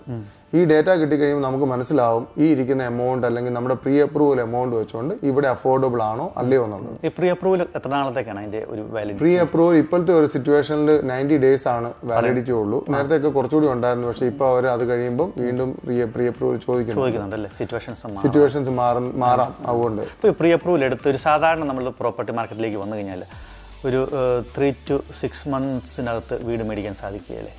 പ്രീ അപ്രൂവൽ എടുത്താൽ സാധിക്കും പക്ഷേ പ്രീ അപ്രൂവൽ ഉള്ളതുകൊണ്ട് മാത്രം നമ്മുടെ ഡ്രീം ഹോം നമുക്ക് ടിക്ക് ഓഫ് ആണെന്ന് അതിലേക്ക് എത്തണമെങ്കിൽ ചിലപ്പോൾ അതിലും കൂടുതൽ സമയം എടുക്കും. അല്ല ഈ പ്രീ അപ്രൂവൽ എന്ന് പറയുന്നത് നമ്മുടെ ആ ഒരു ബോറോയിങ് അറിയാനായിട്ടാന്നേ ഉള്ളൂ. ഞാൻ സാധാരണ പറയുള്ളൂ. നമ്മൾ അത് വെച്ചുകൊണ്ട് റഷ് ചെയ്യേണ്ട ആവശ്യമില്ല. നമ്മൾ കംഫോർട്ട് നമ്മൾ റഷ് ചെയ്യുന്നത് പ്രീ അപ്രൂവൽ കൊണ്ടല്ല. നമ്മുടെ ഇമോഷൻ കൊണ്ട് നമ്മൾ റഷ് ചെയ്തത്. Rush നമുക്ക് സാധനം നാളെ വേണം. നാളെ വേണം. അപ്പൊ ഈ പിന്നെ നമ്മൾ ഓപ്പൺ ഹോം കാണാൻ പോകുമ്പം ഒന്ന് കണ്ടു രണ്ട് കണ്ടു പത്തെണ്ണം കണ്ടു ഇരുപതെണ്ണം കണ്ടു പിന്നെ നമുക്ക് ഭയങ്കര ഫ്രസ്ട്രേറ്റഡ് ആയി. പിന്നെ നമ്മൾ കിട്ടുന്ന വീട് പോയി മേടിക്കും. ആ വീട് എന്ന് പറഞ്ഞു കഴിഞ്ഞാൽ മിക്കവാറും എട്ടിന്റെ പണി തരികയും ചെയ്യും ആ വീട് ഇല്ലേ? തീർച്ചയായിട്ടും. അതുകൊണ്ടാണ് റഷ് ചെയ്യരുതെന്ന് പറയുന്നത്. ഈ വീട് എന്ന് പറയുന്ന സാധനം ഇവിടെ കിട്ടാതെ വരികയല്ല. എപ്പോഴും മാർക്കറ്റിൽ ഉണ്ടാവും. പിന്നെ ആൾക്കാർ പറയുന്നു വില എപ്പോഴും കൂടിക്കൊണ്ടേ ഇരിക്കുവാണ് പക്ഷേ നമ്മൾ ഓരോ സബർബിന്റെ ഡേറ്റ നമുക്ക് അവൈലബിൾ ആണ് ഇപ്പം റെഡിലി അവൈലബിൾ ആണ്. നമ്മൾ ഗൂഗിൾ സെർച്ച് ചെയ്ത് ഇപ്പൊ റിയൽ എസ്റ്റേറ്റ് ഡോട്ട് കോമിലോ അല്ലെങ്കിൽ കോർ കോർലോജിക്കിന്റെ സൈറ്റിലോ അങ്ങനെ പല പല സൈറ്റുകളിൽ പോയി കഴിഞ്ഞാൽ നമുക്ക് ഈ ഡേറ്റ എല്ലാം റെഡിലി അവൈലബിൾ ആണ്. ഇവിടുത്തെ ലാസ്റ്റ് ടെൻ ഇയേഴ്സിന്റെ ഗ്രാഫ് ട്വന്റി ഇയേഴ്സിന്റെ ഗ്രാഫ് ഇവിടുത്തെ ബാക്കിയുള്ള സോഷ്യോ എക്കണോമിക് സ്റ്റാറ്റസ് ഇതെല്ലാം നമുക്ക് ഈ വെബ്സൈറ്റ് വഴി എല്ലാം അവൈലബിൾ ആണ്. അപ്പൊ ആസ് എ ന്യൂ മൈഗ്രന്റ് നമ്മൾ ഇതൊന്നും അത്രയും നോക്കാറില്ല. നമ്മൾ യൂഷ്വലി ഡിപ്പെൻഡ് ചെയ്യുന്നത് നമ്മുടെ കമ്മ്യൂണിറ്റിയിലുള്ള ആൾക്കാർ എവിടെയൊക്കെ ഉണ്ടോ? നമ്മുടെ ഫ്രണ്ട്സ് ആരെങ്കിലും ഈ ഏരിയയിലുണ്ടോ അല്ലെങ്കിൽ സ്കൂളുണ്ടോ? ഇത്രയൊക്കെ നമ്മൾ സാധാരണഗതിയിൽ ആസ് എ ഒരു ഒരു ബിഗിനർ നമ്മൾ നോക്കാറുള്ളൂ. ഞാൻ പറയുകയാണെങ്കിൽ കുറച്ചുകൂടെ നോക്കുവാണെങ്കിൽ മേ ബി നമുക്ക് ഫ്യൂച്ചറിൽ ഈ ഒരു വീട്ടിൽ നിന്നും ഉടനെ മാറേണ്ട ഒരു അവസ്ഥ ചിലപ്പോൾ വന്ന് വരികയല്ല. നമുക്കിപ്പോൾ സ്കൂൾ സ്കൂളാണ് ഏറ്റവും ഒരു ഇമ്പോർട്ടന്റ് ഒരു ഫാക്ടർ ഇവിടെയുള്ള ആൾക്കാരും പ്രത്യേകിച്ച് മലയാളികളും ഇവിടെയുള്ള ഇപ്പൊ നമ്മൾ താമസിക്കുന്ന ഏരിയയിലെ പബ്ലിക് സ്കൂൾ ചിലപ്പം അത്ര റേറ്റിംഗ് ഉള്ള സ്കൂൾ ആയിരിക്കില്ല അല്ലെങ്കിൽ അവിടുത്തെ ഒരു അക്കാഡമിക് സ്കോറിങ് അത്ര അല്ലെങ്കിൽ ചിലപ്പോൾ അത് നമുക്ക് പിന്നീട് ഫ്യൂച്ചറിൽ നമുക്ക് അവിടെ നിന്ന് വീട് മാറാനായിട്ടുള്ള ഒരു കാരണമായിട്ട് മാറും. അപ്പൊ അതുകൊണ്ട് തന്നെ നമ്മൾ ആ ആ ഒരു കാരണം കാര്യം ആദ്യം തന്നെ ടിക്ക് ഓഫ് ചെയ്യുവാണെങ്കിൽ എനിക്ക് തോന്നുന്നു ഒത്തിരി കാര്യങ്ങൾ അതിനകത്ത് അഡ്ജസ്റ്റ് ആയി പോകും. പോകാനായിട്ട് സാധിക്കും. പിന്നെ നമ്മുടെ ജോലിയാണ്. ഇപ്പൊ നമ്മൾ ജോലിയിൽ നിന്നും ഒരു മണിക്കൂർ ഒന്നര മണിക്കൂർ മാറി നമുക്ക് ഇഷ്ടപ്പെട്ട ഡ്രീം ഹോം മേടിച്ചെന്ന് പറഞ്ഞു കഴിഞ്ഞാൽ ഏറ്റവും വലിയൊരു മണ്ടത്തരമായിട്ടാണ് ഞാൻ അതിനെ കണക്കാക്കുന്നത്. അതെ അതെ. അതായത് നമ്മൾ up and down travel time ഒരു ദിവസം ഒരു മനുഷ്യന്റെ രണ്ട് മണിക്കൂർ വെച്ച് നമ്മൾ നഷ്ടപ്പെടുത്തുവാണ്. ഏറ്റവും കുറഞ്ഞത്. ഏറ്റവും കുറഞ്ഞത്. നമ്മുടെ ഡ്രീം ഹോം ആയിരിക്കും നമുക്ക് ഏറ്റവും ബെസ്റ്റ് ഫ്ലാഷി വീടായിരിക്കും. പക്ഷെ എൻജോയ് ചെയ്യാൻ പറ്റില്ല. മുപ്പത് വർഷം നമ്മൾ ട്രാഫിക്കിൽ കിടക്കുവാണ് ഈ ഒരു ഇതിനു വേണ്ടിയിട്ട്. അല്ലെങ്കിൽ നമ്മൾ ജോലി ഇങ്ങോട്ട് മാറാനായിട്ടുള്ള ഒരു സാഹചര്യം നമുക്ക് ഉണ്ടാകണം അപ്പൊ അതെല്ലാം ഇൻഡിവിജ്വലി നമ്മൾ വേ ചെയ്യേണ്ട ഫാക്ടേഴ്സ് ആണ്. എന്താണ് ആസ് എ ഫാമിലി നമുക്ക് വേണ്ടത്? ഇപ്പം ഇവിടെ വരുന്ന ഫാമിലികൾ എല്ലാം തന്നെ യങ് ഫാമിലീസ് ആണ്. കുഞ്ഞു പിള്ളേരുള്ളവരാണ്. അവരെ നോക്കുവാണെങ്കിൽ ഈ രണ്ടുപേരും ഇതുപോലെ ട്രാവൽ ചെയ്യുമ്പോഴുള്ള പ്രശ്നം എന്ന് വെച്ച് കഴിഞ്ഞാൽ പിള്ളേരെ ഡേ കെയർ ഇന്നോ സ്കൂളിൽ നിന്നോ നമ്മൾ ഈ പുതിയ ആൾക്കാർ വരുന്നവർക്ക് അല്ലെങ്കിൽ ഇവിടെയുള്ള ആൾക്കാരാണെങ്കിൽ പോലും ഇവിടെ ഇപ്പോൾ ഒന്നോ രണ്ടോ കൊല്ലം ജീവിച്ചിരുന്ന ആൾക്കാരാണെങ്കിൽ പോലും നമ്മൾ ഒരു വീട് മേടിക്കാൻ ചിന്തിക്കുമ്പോൾ വീട്ടിലാത്ത നമ്മൾ ഭാര്യയും ഭർത്താവും മക്കളും എല്ലാവരും ഡിസ്കസ് ചെയ്യുന്നു ഏതാണ് നമുക്ക് വേണ്ടത് നമ്മൾ തീരുമാനിക്കുന്നത്. അതിനുശേഷം നമ്മൾ ആദ്യം അപ്രോച്ച് ചെയ്യേണ്ട വ്യക്തി ആരായിരിക്കും? ഒരു കമ്മ്യൂണിറ്റി എന്നതിനേക്കാൾ കമ്മ്യൂണിറ്റി ചെന്ന് കഴിഞ്ഞാൽ ഒരു പ്രൊഫഷണൽ അഡ്വൈസ് അല്ല കിട്ടുന്നത്. നൂറ് അഭിപ്രായം കിട്ടുന്നത്. അത് അത് അത്രയ്ക്കൊരു എന്താ പറയുക ചിലപ്പോൾ നല്ലതായിരിക്കും ചിലപ്പോൾ ചള്ളായിരിക്കും. എന്നാലും കുറച്ചും കൂടെ പ്രൊഫഷണൽ ആയിട്ട് നമുക്ക് ട്രസ്റ്റ് വർത്തി ആയിട്ട് ആരെയാണ് ട്രസ്റ്റ് വർത്തിയായിട്ട് ആദ്യം നമുക്ക് വേണ്ടത് ഒരു മോർഗേജ് അഡ്വൈസർ ഉണ്ടെങ്കിൽ ഒരു നല്ലതാണ്. ഒരു ഒരു പരിധി വരെ ഒരു ജനറൽ നോളജ് ഉണ്ട് പുള്ളിക്ക് ആ ഏരിയയെ കുറിച്ച്. ബോറോയിങ് അസസ്മെന്റ് ചെയ്യാനായിട്ട് അല്ലെങ്കിൽ നമ്മൾ നേരിട്ട് ബാങ്കിൽ പോയാലും കിട്ടും കേട്ടോ. ഞാനിപ്പോ ഈ പ്രൊഫഷൻ ജോലി ചെയ്യുന്നതുകൊണ്ട് ഞാൻ അതിനെ നമ്മൾ ബാങ്കിൽ പോയി ചോദിച്ചു കഴിഞ്ഞാൽ നമുക്ക് ഈ സാ- ഈ ഈ ബോറോയിങ് എന്ന് പറയുന്നത് കാൽക്കുലേറ്റ് ചെയ്ത് കിട്ടും. പിന്നെ ഒരു മോർഗേജ് അഡ്വൈസറുടെ അടുത്ത് പോയാൽ പല ബാങ്കിൽ നിന്നുള്ള പല പ്രോഡക്റ്റ് അവർക്ക് അറിയാവുന്നത് കൊണ്ട് നമ്മുടെ സിറ്റുവേഷന് വേണ്ട ബെറ്റർ സിനാരിയോ നമ്മളെ സംബന്ധിച്ചിടത്തോളം കുറച്ചുകൂടി ഈസി ആയിട്ട് അവർക്ക് ആക്സസ് ചെയ്യാൻ പറ്റും. ഇപ്പം ഞങ്ങളൊക്കെ വർക്ക് ചെയ്യുന്നത് ഒരു പതിനഞ്ച് ബാങ്കുമായിട്ട് വർക്ക് ചെയ്യുന്നുണ്ട്. അപ്പം ഓരോന്നിന്റെയും ഡിഫറെന്റ് പ്രോഡക്റ്റ് ഏതാണെന്നുള്ള അറിയാവുന്നതുകൊണ്ട് നമുക്ക് അത് കറക്റ്റായിട്ട് അഡ്വൈസ് ചെയ്യാനായിട്ട് ഒരു ഈ വീട് മേടിക്കാൻ പോകുന്ന ആളുടെ ആവശ്യം അനുസരിച്ച് നമുക്ക് ഓരോ ബാങ്കിൽ നിന്നുള്ള ഓരോ പ്രൊഡക്റ്റിന് വ്യത്യാസം പ്രൊഡക്റ്റിന് വ്യത്യാസം പക്ഷേ നമ്മൾ ഡയറക്റ്റ് ബാങ്കിലേക്ക് ഇല്ലുമ്പോൾ നമുക്ക് ആ നോളജ് കിട്ടില്ല. ആ ബാങ്കിന് മാത്രമേ നമുക്ക് കിട്ടുന്നുള്ളൂ. അല്ലെങ്കിൽ നമ്മൾ ഷോപ്പ് അറൗണ്ട് ചെയ്യാനായിട്ട് റെഡി ആയിട്ട് അത്രയും ടൈം സ്പെൻഡ് ചെയ്യുന്ന ഒരാളാണെങ്കിൽ കുഴപ്പമില്ല. അങ്ങനെ പോയും ചെയ്യുന്ന ചെയ്യുന്നവരുണ്ട് ചെയ്യ- ചെയ്യാൻ കിട്ടും. ഉണ്ട് ഉണ്ട് ഉണ്ട്. ആ അത് തന്നെ. അതിന്റെ അത് നമ്മൾ ടൈം സ്പെൻഡ് ചെയ്യാനുള്ള നമ്മുടെ താല്പര്യം അനുസരിച്ചും നമുക്ക് അതിനുള്ള പാഷൻ അനുസരിച്ചും എല്ലാം ഇത് നമുക്ക് ആക്സസ് ചെയ്യാൻ പറ്റില്ലാത്തൊരു കേസല്ല. പക്ഷേ നമുക്ക് ഇവർ ഓൾറെഡി പഠിച്ചതാണ് ഇതേക്കുറിച്ചല്ല. തീർച്ചയായിട്ടും. അല്ലേ? അതാണ് അവരെ കുറിച്ചുള്ള പിന്നെ അതുവഴിയായിട്ട് നമ്മുടെ കൺസ്യൂമറിന് വേറെ എക്സ്ട്രാ ഫീസ് വരുന്നില്ല. ഇപ്പൊ ഈ ബ്രോക്കറിന് പേയ്മെന്റ് കിട്ടുന്നത് ബാങ്കിൽ നിന്നാണ് കിട്ടുന്നത്. അപ്പൊ നേരിട്ട് നമുക്കിപ്പോ അവരുടെ സർവീസ് സ്വീകരിക്കുന്നതുകൊണ്ട് യാതൊരു നഷ്ടവും വരുന്നില്ല. അതുകൊണ്ട് നമുക്ക് നഷ്ടമൊന്നുമില്ല. നമുക്ക് ഇൻഫർമേഷൻസ് കിട്ടുവാണ് ചെയ്യുന്നത്. പിന്നെ അടുത്ത വേണ്ട ഒരു ആളെന്ന് പറയുന്നത് നമ്മളാരും സാധാരണ യൂസ് ചെയ്യാറില്ല. ബയേഴ്സ് ഏജന്റ് എന്ന് പറയുന്ന ഒരു വിഭാഗം ഒരു പ്രൊഫഷൻസ് ഇവിടെ ഉണ്ട്. അവരെ അപ്രോച്ച് ചെയ്ത് കഴിഞ്ഞാൽ അവർ നമുക്ക് വേണ്ട നമ്മുടെ എന്തൊക്കെയാണോ നമുക്ക് വേണ്ടത് നോക്കിയിട്ട് അവർ നമ്മളെ സപ്പോർട്ട് ചെയ്യും. നമുക്ക് വേണ്ട അനുകൂലമായ പ്രോപ്പർട്ടി കണ്ടുപിടിക്കാനായിട്ട്. പക്ഷേ ഫസ്റ്റ് ഹോം വരുമ്പോഴത്തേക്ക് നമുക്ക് അത്ര ഒരു വലിയ സെർച്ച് ചെയ്യേണ്ടാത്തതുകൊണ്ട് നമ്മുടെ മിനിമം കാര്യങ്ങൾ മീറ്റ് ചെയ്യാനായിട്ട് നമ്മൾ നോക്കുന്നത് കൊണ്ട് സാധാരണ ആരും ആ ഒരു. ഫെസിലിറ്റി നമ്മൾ യൂസ് ചെയ്യാറില്ല. യൂസ് ചെയ്യുന്നതിന് ചാർജ് ഉണ്ട്. ഒരു ടു പെർസെന്റ് അല്ലെ ഫോർ പെർസെന്റ് ഒക്കെ അവർ ചാർജ് ചെയ്യും. ആ ഒരു ചാർജ് കൂടി ഉള്ളതുകൊണ്ടാകാം നമ്മളെല്ലാരും തന്നെ ആദ്യം അതൊരു വലിയ ടു പെർസെന്റേജ് ഒക്കെ പറഞ്ഞാൽ നല്ലൊരു എമൗണ്ട് ആണ് അല്ലേ? അതെ ഒരു നമുക്ക് ഒന്നാമത് ഒരു ഡിപ്പോസിറ്റ് ഉണ്ടാക്കണം. തീർച്ചയായിട്ടും. അതിന്റെ പുറത്ത് ബാക്കിത്തെ സ്റ്റാമ്പ് ഡ്യൂട്ടി അതിന്റെ ക്ലോസിംഗ് കോസ്റ്റുകൾ വേറെ ഉണ്ട് ഇതെല്ലാം കൂടെ വരുമ്പോഴത്തേക്ക് നമുക്കൊരു പേടിയാണ്. ചിലപ്പോൾ ഒരു പതിനയ്യായിരം ഇരുപതിനായിരം ഡോളർ എന്ന് വെച്ച് കഴിഞ്ഞാൽ ഇതൊരു ബിഗ് എമൗണ്ട് ആണ് അല്ലേ? അതെ അതെ. അതൊരു എമൗണ്ട് ആണ്. പക്ഷേ അത് ഒരു പക്ഷേ അത് ആ- amount end of the day നമുക്ക് ലാഭകരമായി തീരുമോ എന്നുള്ളതൊരു അതെ. നമ്മൾ ആലോചിക്കണം. നമ്മുടെ ഈ പ്രോപ്പർട്ടി മേടിക്കുമ്പോൾ രണ്ട് രീതിയിൽ ഇതിനെ കാണണം. നമ്മൾ അതിനെ ഒരു ഇൻവെസ്റ്റ്മെന്റ് ആയിട്ട് അതായത് ഫ്യൂച്ചറിസ്റ്റിക് ഒരു ഇൻവെസ്റ്റ്മെന്റ് ആയിട്ട് കൂടെ കണ്ടു കഴിഞ്ഞാൽ മാത്രമേ ഉള്ളൂ. നമുക്ക് അതിനകത്ത് നമ്മൾ ഒരു റിട്ടയർമെന്റ് എത്തുമ്പം ഈ ഒരു പ്രോപ്പർട്ടി ഡിസ്പോസ് ചെയ്തിട്ടായിരിക്കാം നമ്മുടെ നമ്മുടെ ഡൗൺ സൈസ് ചെയ്യുവോ അല്ലെങ്കിൽ ഇപ്പം നേഴ്സിംഗ് ഹോമിൽ പോവുക അങ്ങനെയൊക്കെ വരുമ്പോൾ വേണ്ട എമൗണ്ട് നമുക്ക് കിട്ടുന്ന ഈ ഒരു വീടിൽ നിന്നായിരിക്കും നമുക്ക് കിട്ടുന്നത് അപ്പൊ അത് കറക്റ്റ് ആയിട്ടുള്ള ഒരു ബൈ അല്ലെങ്കിൽ നമുക്ക് ആ എൻഡ് റിസൾട്ട് നമുക്ക് ഒരിക്കലും കിട്ടിയെന്ന് വരികയില്ല. നമ്മൾ ഈ നമ്മുടെ ആ ഒരു ഡ്രീം ഹോം എന്നുള്ള ഒരു കൺസെപ്റ്റ് മാത്രം വെച്ചുകൊണ്ട് നമ്മൾ മേടിച്ചു കഴിഞ്ഞാൽ ചിലപ്പം പല കാര്യങ്ങളും ഫ്യൂച്ചറിൽ വരുമ്പോൾ നമുക്ക് ബെനിഫിറ്റ് ആയിട്ട് വരികയില്ല. അപ്പൊ അങ്ങനെയുള്ള കാര്യങ്ങൾ ഇത് ആര് പറഞ്ഞു തരുമെന്ന് ചോദിച്ചു കഴിഞ്ഞാൽ നമ്മളൊന്നും വന്നപ്പോൾ ഇത് ആരും പറഞ്ഞു തരാനില്ല നമ്മളെല്ലാം ഇങ്ങനെ നടന്നു ഓടി നടന്നു എക്സ്പീരിയൻസ് എക്സ്പീരിയൻസ് ചെയ്താണ് ഇത് കണ്ടിട്ടുള്ളത്. പെയിൻഫുൾ പെയിൻഫുൾ മാത്രമല്ല എക്സ്പെൻസീവ് എക്സ്പീരിയൻസ് ഭയങ്കര എക്സ്പെൻസീവ് ഇത് ഇത് ഇത്രയും ലോങ് ടൈം ഒരു കമ്മിറ്റ്മെന്റ് ആണ്. അത്. വെരി എക്സ്പെൻസീവ് ആണ്. അപ്പൊ ഈ ഒരു മിസ്റ്റേക്ക് നമ്മൾ ചെയ്തു കഴിഞ്ഞാൽ നമ്മളിപ്പോ ഒരു പോയി ഒരു ടി വി മേടിക്കുന്ന പോലെ ഫ്രിഡ്ജ് മേടിക്കുന്ന പോലെ അല്ല നമ്മൾ പോയി ഒരു വീട് മേടിക്കുന്നത്. അത് അത്രയും വലിയൊരു ഫിനാൻഷ്യൽ കമ്മിറ്റ്മെന്റ് ആണ്. നമ്മുടെ നാട്ടിൽ എവിടെയെങ്കിലും പോയി രണ്ട് കോടി രൂപയുടെ ഒരു വീട് മേടിക്കുമോ ഓടിപ്പോയി. പിന്നെ ഇത് ബിൽഡിംഗ് ഇൻസ്പെക്ഷൻ ഇത് മാത്രം ഇമ്പോർട്ടന്റ് ആണ്. നമ്മൾ പ്രധാനമായിട്ട് ചെയ്തിരിക്കേണ്ടതാണ്. അതെ. അതൊരു ഇപ്പം പുതിയൊരു വീടാണ് നമ്മൾ മേടിക്കുന്നെങ്കിൽ അതിന് വലിയൊരു ഇമ്പോർട്ടൻസ് ഇല്ല. എന്നാലും ഇപ്പോഴത്തെ കറണ്ട് ബിൽഡിംഗ് ക്വാളിറ്റി ക്വാളിറ്റിയും സിനാരിയോയും വെച്ചിട്ട് ബിൽഡേഴ്സിന്റെ ആ ഒരു ക്വാളിറ്റി ഇല്ലായ്മ കൊണ്ട് ചെയ്യുന്നത് നല്ലതായിരിക്കും. അതാണെങ്കിൽ നമുക്ക് നമുക്ക് ഒരു പീസ് ഓഫ് മൈൻഡ് ആണ്. ഓക്കെ ഈ പറഞ്ഞ കാര്യങ്ങളെല്ലാം ഈ വീട്ടിൽ ചെയ്തിട്ടുണ്ട്. വീടിനകത്ത് ഇൻസുലേഷൻ പറഞ്ഞേക്കുന്നത് പോലെ റൂഫിൽ ഇൻസുലേഷൻ ഉണ്ട്. ഇതൊന്നും നമുക്ക് അറിയത്തില്ലാത്ത കാര്യമാണ്. റൂഫിൽ എന്താ ചെയ്തേക്കുന്നത്? അല്ലെങ്കിൽ ഇതിനിടയ്ക്കുള്ള ഇൻസുലേഷൻ വർക്കുകളെല്ലാം അവർ ചെയ്തിട്ടുണ്ടോ? ഇലക്ട്രിക് വർക്കുകളെല്ലാം കറക്റ്റ് ആയിട്ടാണോ ചെയ്തേക്കുന്നത്? അപ്പോൾ ഒരു പ്രോപ്പർ ബിൽഡിംഗ് ഇൻസ്പെക്ഷൻ ചെയ്യുവാണെങ്കിൽ നമുക്കതൊരു ഡോക്യുമെന്റ് ആണ് നമ്മുടെ കയ്യിലുണ്ട് ഇനി പോസ്റ്റ് വലിയ പോസ്റ്റ് ആകും അല്ലേ? അതിന് വലിയ കോസ്റ്റ് വരുന്നില്ല. നമുക്കൊരു തൗസൻഡ് ഡോളർ ഒക്കെ താഴെ വരുന്നുള്ളൂ. ആ ഒരു ചെയ്യാനായിട്ട്. അല്ലെങ്കിൽ അപ്പൊ പിന്നെ കൂടാതെ ബിൽഡിംഗ് ആൻഡ് ഫസ്റ്റ് ഇൻസ്പെക്ഷൻ ആണ് ഇവിടെ മെയിൻ ആയിട്ട് ഉദ്ദേശിക്കുന്നത്. ടെർമേറ്റ് ഉള്ള ഏരിയ ആണെങ്കിൽ പെസ്റ്റ് ഇൻസ്പെക്ഷൻ അതാണ് ഏറ്റവും ഇമ്പോർട്ടന്റ് ആയിട്ടുള്ള ടെർമൈറ്റിന്റെ പ്രശ്നങ്ങളുണ്ട്? പ്രശ്നങ്ങൾ പക്ഷെ ഇപ്പൊ പുതിയുള്ള വീടിനൊന്നും ആ ഒരു പ്രശ്നങ്ങൾ വരാറില്ല. അതിനുള്ള ട്രീറ്റ്മെന്റ് അവൈലബിൾ എല്ലാം ഓൾറെഡി ചെയ്തിട്ടാണ് വരുന്നത്. കുഴപ്പമില്ല. പക്ഷെ ഇതൊക്കെ ഒരു കുഞ്ഞു കുഞ്ഞു എക്സ്പെൻസുകളാണ് നമ്മൾ ചിലപ്പോൾ അതൊക്കെ നമ്മൾ സ്കിപ്പ് ചെയ്യാൻ നോക്കും. ഡോളേഴ്സ് നമ്മളെ സംബന്ധിച്ച് അത് വലിയ വലിയ എമൗണ്ട് ആണ് ആ സമയത്ത്.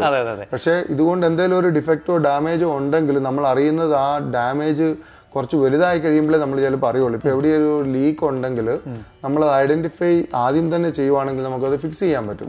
ചിലപ്പോൾ ആ ഈ ലീക്ക് നമ്മൾ അറിഞ്ഞില്ല അല്ലെങ്കിൽ ഇഗ്നോർ ചെയ്യുവാണെങ്കിൽ അത് വലിയൊരു കോസ്റ്റിലേക്കാണ് ഫ്യൂച്ചറിൽ മാറുന്നത്. പിന്നെ ഇവർ ചെയ്ത എന്താ പറയുക ബിൽഡിംഗ് ഇൻസ്പെക്ടേഴ്സ് തരുന്ന റിപ്പോർട്ട് ഉണ്ടെങ്കിൽ നമുക്ക് അത് വെച്ച് ബാർഗെയിൻ ചെയ്യാനും സാധിക്കും ഒരു പരിധി വരെ. എല്ലാം അതിന്റെ ഡിഫക്ട്സുകളൊക്കെ അതെ. അതപ്പോ എല്ലാ കാര്യങ്ങളും അല്ല? കുറെ കാര്യങ്ങൾ അതെ. അന്നേരം തന്നെ പറയുവാണെങ്കിൽ നോർമലി ഓണേഴ്സ് അത് ഫിക്സ് ചെയ്ത് തരുന്ന സിനാരിയോസ് ഉണ്ട്. ഫിക്സ് ചെയ്യാൻ പറ്റുന്നതാണെങ്കിൽ.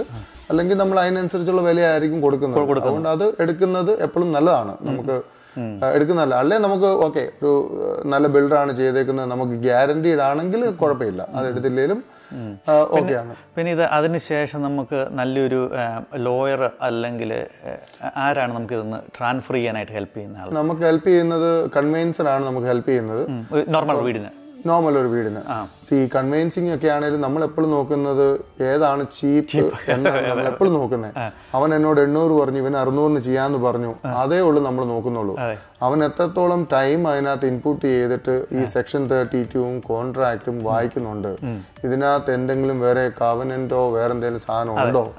വേറെ എന്തെങ്കിലും ഡിസ്പ്യൂട്ടുകളുണ്ടോ ഡിസ്പ്യൂട്ടുകൾ ഉണ്ടോ അല്ലെങ്കിൽ വേറെ ഏതെങ്കിലും ഒരു തേർഡ് പാർട്ടി ഇൻട്രസ്റ്റ് ഇതിനകത്ത് രജിസ്റ്റർ ചെയ്യപ്പെട്ടിട്ടുണ്ടോ? ഇതെല്ലാം നോക്കാനായിട്ടാണ് ഈ കൺവെൻസറുടെ റെസ്പോൺസിബിലിറ്റി അതെ.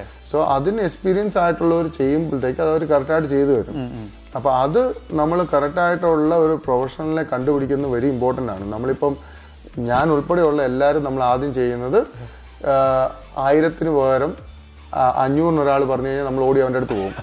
നമ്മുടെ കാര്യം നടന്നാൽ മതി. നമ്മൾ പിന്നെ വീട് മേടിച്ചതിന് ശേഷം ആൾക്കാർ ഇങ്ങനെ മാറി തരാതിരിക്കുമോ അങ്ങനെ വല്ല സിറ്റുവേഷൻസ് വരാറുണ്ടോ? അത് വന്നു കഴിഞ്ഞാൽ എങ്ങനെ ഡീൽ ചെയ്യുന്നത് ഇപ്പോഴത്തെ സിറ്റുവേഷനിൽ ഞാനിപ്പം ഒത്തിരി ഗ്രൂപ്പുകളിൽ ഇങ്ങനെ കേൾക്കാറുണ്ട്. അതായത് റെന്റിന് കിടന്ന ഒരു വീട് നമ്മൾ മേടിക്കുവാണെങ്കിൽ മേടിച്ചെല്ലാം കഴിയുമ്പം സെറ്റിൽമെന്റ് കഴിയുമ്പോൾ ടെനൻസ് മൂവ് ഔട്ട് ചെയ്യാനായിട്ട് റിഫ്യൂസ് ചെയ്യുന്ന ഒരു സിറ്റുവേഷൻ അതൊരു വലിയ പ്രശ്നമാണ്. ഇപ്പൊ നിലവിൽ ഈ അവൈലബിലിറ്റി കുറവായതുകൊണ്ടും റെന്റൽ ഡിമാൻഡ് ഹൈ ആയതുകൊണ്ടും ആൾക്കാർ മൂവ് ചെയ്യാത്ത ഒരു സിറ്റുവേഷൻസ് ഉണ്ട്. അപ്പം നമ്മൾ മൂവ് ചെയ്യാൻ അത് മേടിച്ചെങ്കിൽ ആദ്യം തന്നെ ചെയ്യേണ്ടത് നമുക്ക് വേക്കന്റ് ഒക്യുപ്പൻസി എന്നുള്ളൊരു കണ്ടീഷൻ നമ്മുടെ കോൺട്രാക്റ്റിനകത്ത് നമ്മൾ ആഡ് ചെയ്യണം. അത് ആഡ് ചെയ്ത് കഴിഞ്ഞാൽ ആ കണ്ടീഷൻ മീറ്റ് ചെയ്യാതെ പ്രോപ്പർട്ടി സെറ്റിൽ ആയി ആവില്ല. നമ്മൾ അന്നേരം വേക്കന്റ് പൊസഷനേ ഉള്ളൂ. നമ്മൾ വീട് എടുക്കുകയുള്ളൂ എന്നുള്ളതാണ് നമ്മൾ അതിനകത്ത് എഴുതി വെക്കുന്നത്. അപ്പൊ ആ കണ്ടീഷൻ വെച്ചില്ലെങ്കിൽ ഓണറും കൈ കൈകഴുകി മാറും. അവർ പൈസ ട്രാൻസ്ഫർ ചെയ്ത് കഴിഞ്ഞാൽ പരിപാടി പിന്നെ അവർക്ക് യാതൊരു കമ്മിറ്റ്മെന്റും നമ്മളുമായിട്ടില്ല. അപ്പൊ ഈ ഈ ഇതുണ്ടെങ്കിൽ അവിടെ നാളിറങ്ങാതെ അവന് സെറ്റിൽ ചെയ്യാൻ നമ്മൾ സെറ്റിൽ ചെയ്ത് പൈസ ട്രാൻസ്ഫർ ചെയ്യുന്നില്ല. ഇല്ല അപ്പൊ അതൊരു ഇമ്പോർട്ടന്റ് ഒരു പോയിന്റ് ആണ്. നമ്മളിപ്പം റെന്റിന് കൊടുത്തേക്കുന്ന ഒരു വീടാണ് നമ്മൾ മേടിക്കുന്നെങ്കിൽ വേക്കന്റ് പൊസിഷൻ ആയിരിക്കണം കിട്ടുന്നതെന്നുള്ള ഒരു കണ്ടീഷൻ നമ്മുടെ കോൺട്രാക്ടിനകത്ത് നമ്മൾ ആഡ് ചെയ്യണം. ആഡ് ചെയ്തിരിക്കണം. അത് കൺവീൻസറോട് പറഞ്ഞ് ആഡ് ചെയ്ത് അത് മേക്ക് ഷുവർ ചെയ്യണം. പിന്നെ കൂടാതെ സെറ്റിൽമെന്റിന് മുമ്പായിട്ട് സാധാരണ ത്രീ അല്ലെങ്കിൽ ഫൈവ് ഡേയ്സിന് മുമ്പ് ഒരു ഫൈനൽ ഇൻസ്പെക്ഷൻ നമുക്ക് റിക്വസ്റ്റ് ചെയ്യാം. അന്നേരം നമ്മൾ വന്നിട്ട് നമ്മൾ കണ്ട സിറ്റുവേഷനിൽ തന്നെയാണോ വീട് ഇരിക്കുന്നത് എന്നുള്ള ഫൈനൽ ഇൻസ്പെക്ഷൻ ചെയ്യണം. അപ്പൊ എന്തെങ്കിലും ഡാമേജ് വേറെ നമ്മൾ കാണാത്ത ഉണ്ടെങ്കിൽ നമ്മൾ അത് അവിടെ റേസ് ചെയ്യണം റേസ് ചെയ്തിട്ട് സെറ്റിൽമെന്റിന് മുമ്പ് അത് കറക്റ്റ് ചെയ്ത് ചെയ്യുന്നെങ്കിൽ മാത്രമേ ഉള്ളൂ നമുക്ക് സെറ്റിൽ ചെയ്യാവുള്ളൂ എന്നുള്ളതും നമുക്ക് അവിടെ ഇത് ചെയ്യാൻ പറ്റും അപ്പൊ ആ ഒരു ഫൈനൽ ഇൻസ്പെക്ഷൻ വെരി ഇമ്പോർട്ടന്റ് ആണ്. പല ആൾക്കാരും ചിലപ്പോൾ അത് എടുക്കാറില്ല. എന്ന് വെച്ച് കഴിഞ്ഞാൽ ഇപ്പൊ ബിസി ആയതുകൊണ്ട് അല്ലെങ്കിൽ ടൈം അഡ്ജസ്റ്റ് ചെയ്യാത്തതുകൊണ്ടോ അവരങ്ങ് ചെയ്യാറില്ല. പക്ഷേ നമ്മൾ അന്നേരം വന്ന് നോക്കേണ്ടത് അവരുടെ ഫർണിച്ചറുകളെല്ലാം മൂവ് ചെയ്ത് കഴിയുമ്പോഴത്തേക്ക് ഏതെങ്കിലും വോളയിൽ ഡെന്റ് ഉണ്ടോ? അല്ലെങ്കിൽ പെയിന്റ് എല്ലാം പോയിരിക്കുവാണോ? കാർപ്പറ്റ് നമുക്ക് നശിച്ചാണോ കിട്ടുന്നത് അപ്പൊ അത് നമ്മൾ അവിടെ ഐഡന്റിഫൈ ചെയ്ത് അന്നേരം തന്നെ എസ്റ്റേറ്റ് ഏജന്റിനെ നോട്ടിഫൈ ചെയ്ത് കഴിഞ്ഞു കഴിഞ്ഞാൽ അവരത് ഓണറോട് പറഞ്ഞ് ഫിക്സ് ചെയ്ത് നമുക്ക് തന്നാലേ ഉള്ളൂ സെറ്റിൽമെന്റ് നടക്കുള്ളൂ. നമ്മൾ കൺവെൻസറെ നോട്ടിഫൈ ചെയ്യുന്നു. നമ്മളല്ല ഇതൊന്നും കമ്മ്യൂണിക്കേറ്റ് ചെയ്യേണ്ടത്. നേരെ കൺവെൻസറോട് പറയുക. അപ്പോൾ കൺവെൻസർ നേരെ അവരുടെ കൺവെൻസറോട് പറയും ഇന്ന ഡിഫക്റ്റുകൾ ഇതിനകത്ത് ഐഡന്റിഫൈ ചെയ്തിട്ടുണ്ട് need to fix it prior to the settlement അപ്പോൾ അവിടെ ഓൾറെഡി അത് official communication legal communication happen ചെയ്തു. അതപ്പോൾ ഓൾറെഡി അവർ സെറ്റിൽ ചെയ്തു തരുന്നതിന് മുമ്പ് ചെയ്തു തരും. അപ്പം ഇതാണ് നമ്മൾ ഇന്നത്തെ ഒരു ചെറിയ വീഡിയോ ഇവിടെ കൂടെ അവസാനിപ്പിക്കുകയാണ്. കാരണം വീഡിയോ അല്ലെങ്കിൽ സമയം നീണ്ടു പോകും. അതുകൊണ്ട് ഇത് വലിയ സബ്ജക്റ്റ് തന്നെയാണ് കേട്ടോ. ഇതിപ്പം നമ്മളതിനകത്ത് വളരെ ജനറൽ ആയിട്ടുള്ള കുറച്ച് കാര്യങ്ങൾ മാത്രമേ സംസാരിച്ചിട്ടുള്ളൂ. ഇവിടെ ആദ്യം വരുന്നവർക്ക് അല്ലെങ്കിൽ ആദ്യം വീട് മേടിക്കേണ്ടവർക്ക് വേണ്ടുന്ന ചെറിയ ചെറിയ കുറച്ച് സ്റ്റെപ്പുകൾ പക്ഷേ വളരെ ഇമ്പോർട്ടന്റ് ആയിട്ടുള്ളതും ആയിട്ടുള്ള സ്റ്റെപ്പുകളാണിത് അപ്പം ഇത്ര നേരം നമ്മളിവിടെ സമയം സ്പെൻഡ് ചെയ്ത് ജോബിൻ മാണിയാണ്. അദ്ദേഹത്തിന് വളരെ നന്ദി പറയുന്നു. അതേപോലെ തന്നെ നമുക്ക് ആർക്കെങ്കിലും ഒരു ഇൻഡിവിജ്വലായിട്ട് പ്രോപ്പർട്ടി മേടിക്കുന്നതിനെ കുറിച്ച് സംശയങ്ങളുണ്ടെങ്കിൽ ജോബിനെ ഏത് സമയത്ത് വേണമെങ്കിലും വിളിക്കാം. അദ്ദേഹം അത് ആൻസർ ചെയ്യും. അദ്ദേഹത്തിനെ കൊണ്ട് പറയാൻ പറ്റുന്ന സാധനങ്ങളും കാര്യങ്ങളൊക്കെ ആയിട്ട്. പിന്നെ ഹെൽപ്പ് ചെയ്യണമെന്നുള്ള രീതിയിൽ അദ്ദേഹം ഹെൽപ്പ് ചെയ്യുന്നതാണ്. അദ്ദേഹത്തിന്റെ നമ്പർ ഏതൊക്കെയാണ് ഞാൻ ഡിസ്ക്രിപ്ഷനിൽ കൊടുക്കുന്നതാണ്. ഇനി വേറെ സബ്ജക്റ്റുമായിട്ട് കാണുന്നവരെയും എല്ലാവർക്കും വണക്കം. ജോബിന് എന്തെങ്കിലും അല്ല പറയുകയാണെങ്കിൽ പറഞ്ഞു നിർത്തിയോ ഓക്കെ. ഇതിന്റെ ഒരു കൺക്ലൂഷൻ ആയിട്ട് പറയാനുള്ള. മെയിൻ ആയിട്ട് നമ്മൾ ഇവിടുത്തെ ഫസ്റ്റ് ഹോം ബയർ ആകുന്ന ആൾക്കാർക്ക് ഉള്ള ഒരു കൺക്ലൂഷൻ എന്ന് പറയുന്നത് നമ്മൾ ചെയ്യേണ്ട ഒന്ന് രണ്ട് കാര്യങ്ങൾ നമ്മൾ ഏറ്റവും ആദ്യം ചെയ്യേണ്ടത് നമ്മൾ വെൻ നമ്മൾ റെഡി ടു ബൈ ആകുന്ന സിറ്റുവേഷൻ വരെ വെയിറ്റ് ചെയ്യാതെ നമ്മൾ ഞാൻ പറഞ്ഞ ഫസ്റ്റ് ഫിൽറ്റർ ദ സബർബ് അത് ആദ്യം നിങ്ങൾ ചെയ്യാനായിട്ട് കുറച്ച് ടൈം എടുത്ത് ശ്രദ്ധിക്കുക. നിങ്ങളുടെ ബോറോയിങ് കപ്പാസിറ്റി അസസ് ചെയ്യുക. അതിനുശേഷം നിങ്ങൾക്ക് ചെയ്യാൻ പറ്റുന്ന ഈ സബർബിൽ നടക്കുന്ന പ്രോപ്പർട്ടി സെയിലുകളിനെ നിങ്ങൾ ഒബ്സർവ് ചെയ്തുകൊണ്ടിരിക്കുക. ഓപ്പൺ ഹോമിനൊക്കെ പോവുക. റിയൽ എസ്റ്റേറ്റ് ഡോട്ട് കോമിൽ ചെക്ക് ചെയ്തുകൊണ്ടിരിക്കുക. എല്ലാ ആഴ്ച ഒരു രണ്ടു പ്രാവശ്യമെങ്കിലും ഒന്ന് ചെക്ക് ചെയ്ത് കഴിഞ്ഞാൽ എങ്ങനെയുള്ള പ്രോപ്പർട്ടീസ് ആണ് വരുന്നത്. ലാസ്റ്റ് വീക്കിലെ സെയിൽ നടന്ന പ്രോപ്പർട്ടികൾ ഏതൊക്കെയാണ്? ഇതെല്ലാം ഈ റിയൽ എസ്റ്റേറ്റ് ഡോട്ട് കോമിൽ തന്നെ കിട്ടും. അത് വെച്ചിട്ടുള്ള ഇൻഫർമേഷൻസ് നമ്മൾ ഒബ്സർവ് ചെയ്തുകൊണ്ടിരിക്കുക. അപ്പൊ നമുക്ക് കമ്പയർ ചെയ്യാൻ പറ്റും. എന്തുകൊണ്ട് ഈ വീട് ഈ വിലയ്ക്ക് പോയി? ഞാൻ അന്ന് കണ്ട വീടിനേക്കാളും വില കുറഞ്ഞാണല്ലോ ഇത് പോയെ. എന്താണ് ഇതിനകത്ത് അതുമായിട്ടുള്ള ഡിഫറൻസ് ആ ഒരു വ്യത്യാസം നമ്മൾ അനലൈസ് ചെയ്താൽ തന്നെ നമ്മൾ മേടിക്കാൻ പോകുന്ന പ്രോപ്പർട്ടി ഏകദേശം ഒരു റേഞ്ച് എന്നാന്നുള്ളത് നമുക്ക് മനസ്സിലാവും. പിന്നെ നമ്മൾ ഫസ്റ്റ് വീട് മേടിക്കുമ്പോൾ ഏറ്റവും മാക്സിമം സ്ട്രെച്ച് ചെയ്ത് മേടിക്കാതിരിക്കുക.